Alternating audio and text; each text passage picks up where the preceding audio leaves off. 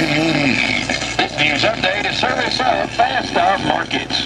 I'm Mickey Vine. Cleanup continues following historic heavy rains in parts of middle and west Tennessee. Much of the northern part of Hickman County is still recovering from flood damage to county roads and state highways. The majority of the flooding in Hickman County occurred in the Nunnelly and Pinewood areas. The Pinewood Church of Christ and some facilities of the ranch on Pinewood Road received severe damage from flooding.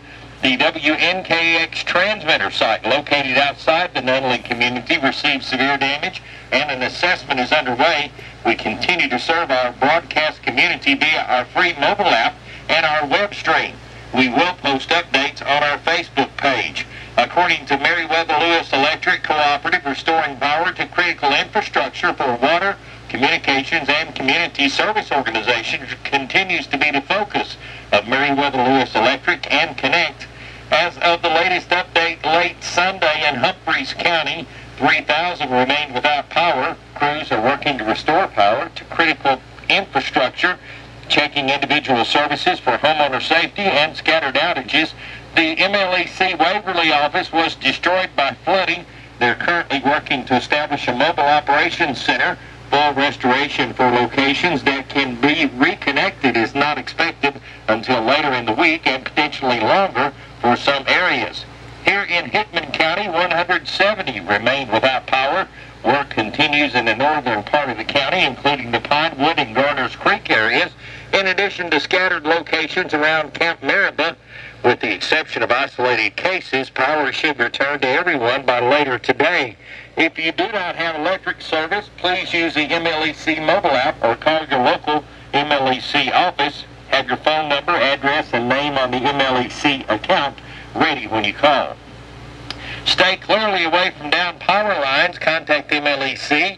If you see them on the ground, and do not try to move them. If touched, they could cause electrocution or serious injury and use extreme caution when using a generator. If you own a generator, contact MLEC. A generator can send electricity back through the electric lines and electrocute linemen who are working involved in restoration efforts. See MLEC.com for proper generator installation and use. If the weatherhead at your home is torn down, an electrician will need to repair this before MLEC can restore your power. We'll pass along further updates from MLEC as they are provided. TJ has our weather forecast coming up. Have you visited the new Fast Stop at 1306 Highway 100 in Center?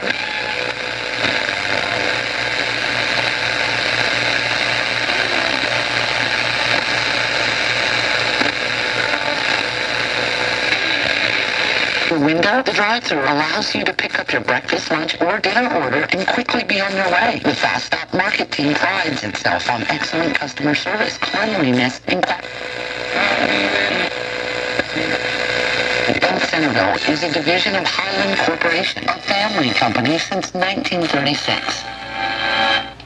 Tonight rains will fall into the lower 70s under clear skies. Tuesday's forecast calls for plenty of sunshine and highs in the low 90s. That's the Fix Country forecast. I'm meteorologist TJ Scott. Thanks, TJ. Currently in Centerville, we have a sunny sky, and the temperature gauge is at 90 degrees outside the studios at WNKX. We currently do not have obituaries, but the obituaries are a community service of McDonald Funeral Home. Time comes, you will be relieved you chose pre-need services from McDonald Funeral Homes in Centerville and Hohenwald. Options include the type of service desired, choice of songs, pallbearers, selection of merchandise, also funding to pay the cost of final expenses. Many families choose to do both as a loving and thoughtful expression for surviving family members.